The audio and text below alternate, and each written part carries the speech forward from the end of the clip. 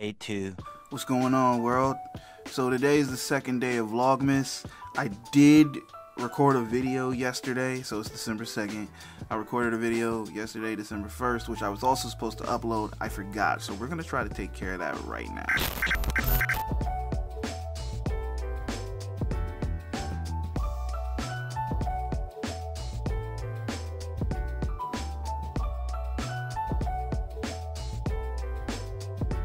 This is my first time having a video go live on YouTube in like two months, probably closer to three months, and that is a shame.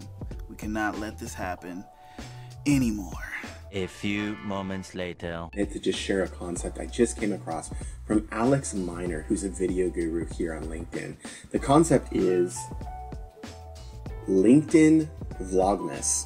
Vlogmas is something that happens on YouTube every year where vloggers come out and they put content every single day on the site. And Alex is introducing this over to the LinkedIn world, which I think is a great idea for businesses. 2020 has been a tough year for all of us, but we found some real strong success with our Ask an Expert video series where we interview CEOs and founders and thought leaders from all around the world. So I love this concept of doing a one minute vlog throughout the day for each day of December.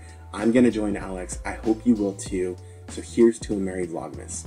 I am stunned right now. Like, this is amazing and just shows you the power of video, of community, of all those things because I did not really mean to start a movement. So, Joshua Carlson, thank you so much for, for joining me and I guess this now LinkedIn Vlogmas experiment. I really hope that this catches on. This could be a really big thing. This could be amazing. I'm looking forward to seeing who else decides to jump in on this concept and where it goes. This could be huge.